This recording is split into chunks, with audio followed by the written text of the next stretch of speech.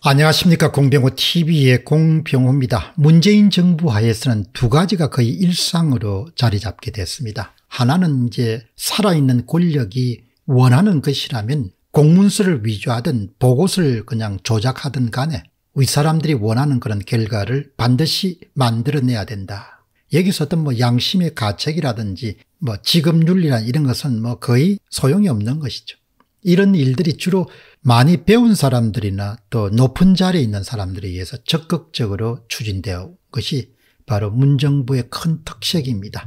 또 다른 하나는 나중에 불법이 발각되더라도 검찰, 경찰, 사법부 등이 나서서 이를 은폐하는 일들이 다반사로 일어난다는 점입니다. 그러니 불법이든 뭐든 관계없는 사회가 돼버린 것이죠.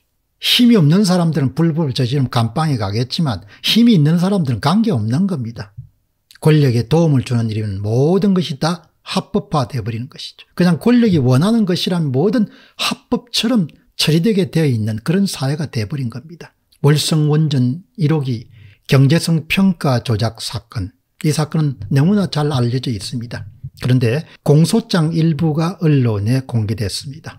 월성 원전 1호기 경제성 평가를 맡았던 회계법인의 회계사와 한국수력원자력 실무진 담당 차장이 나눈 은밀한 대화입니다. 그 대화 내용을 보게 되면 은 이 사람들이 경제성 평가 조작을 했는지 안 했는지가 너무나 명확하게 드러나게 되어 있습니다. 2018년 초에 예상 밖으로 원전이 경제성이 있다는 그런 경제성 평가 결과가 나오자 용역을 맡았던 담당 회계사는 실무 담당적인 한국수력원자력의 담당 B 차장에게 이런 문자 메시지를 보냅니다. 이런 문자 메시지가 아주 중요한 그런 점검으로 채택된 겁니다. 그리고 이 내용이 바로 공소장에 기록된 겁니다. 회계사가 이렇게 이야기합니다. 월성 1호기 손익분기점 이용률이 40% 초반이 안 나옵니다. 그리고 이모티콘을 눈물 나타나는 이모티콘을 큰일 났다는 이야기죠.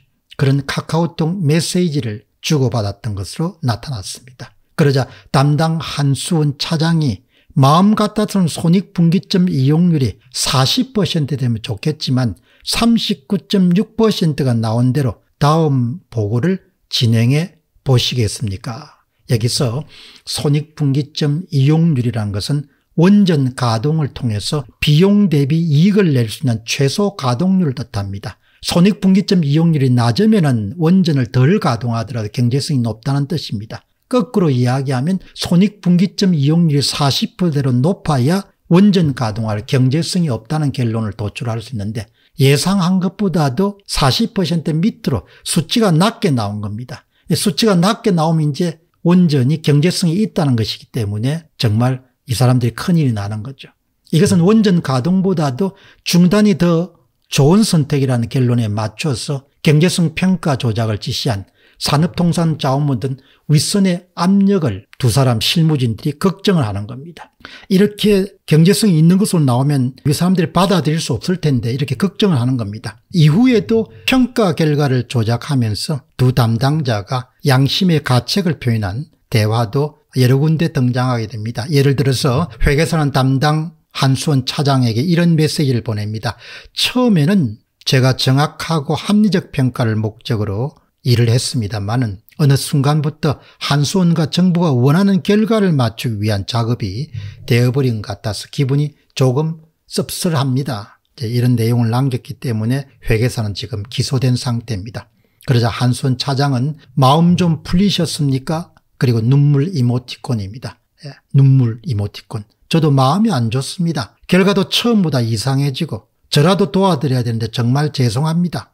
그러자 회계사가 다시 이야기합니다. 이제는 되돌릴 수 없는 상황이 되어버려서 잘 마무리해야 될 것 같습니다. 주고받은 메시지는 모두 윗선이 시키는 대로 평가 보고서를 썼지만 당시에도 수치 왜곡, 결과를 조작하는 데 상당한 문제가 있다는 사실을 회계사와 담당 차장이 알고 있었고 이것을 상당히 괴로워하고 있음을 바로 증거물로서 검찰이 확보한 겁니다. 이런 증거물에 기반을 두고 사건을 수사한 대전지검은 공소장에서 이렇게 적시했습니다. A 회계사 등은 산업부와 한수원 관계자들로부터 오로지 월성 1호기가 즉시 가동 중단 논리를 뒷받침하기 위해서 월성 1호기의 경제성이 없어야 된다는 결론을 미리 정해놓고 합리적 근거 없이 월성 1호기의 경제성을 낮추는 방향으로만 관련 변수를 입력해달라는 부당한 요구를 지속적으로 윗선으로부터 받았다. 또 하나 말이 안 되는 일이죠. 참 이게 이제 밝혀질 수밖에 없는 일인데 이런 짓들을 한 겁니다. 이게 월성모 원전 1호기만 해당하는 이야기겠습니까?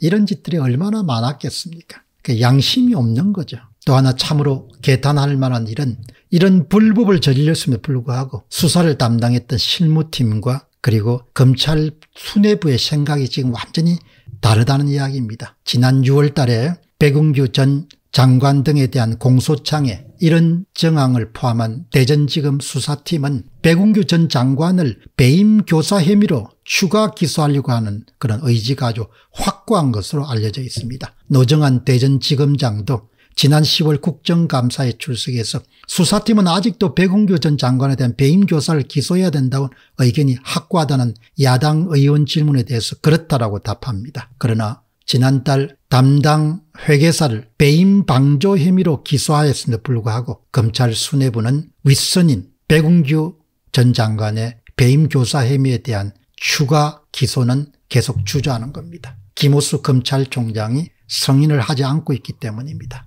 조작하고 거짓말하고 공문서를 위조한 일은 애사롭게 윗사람들이 하고 그런 범법 행위가 밝혀지려다가 끝까지 뭉개는 일이 다반사로 지금 이 정부에서 일어난 겁니다.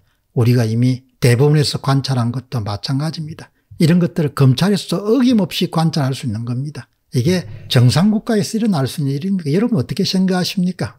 예? 정상국가에서 일어날 수 없는 일입니다. 정상국가에서 일어날 수 없는 일이 부지기수로 지금 일어나고 있는 겁니다. 백운규 전 장관을 만일 기소할 수 없으면 누구를 기소할 수 있겠습니까?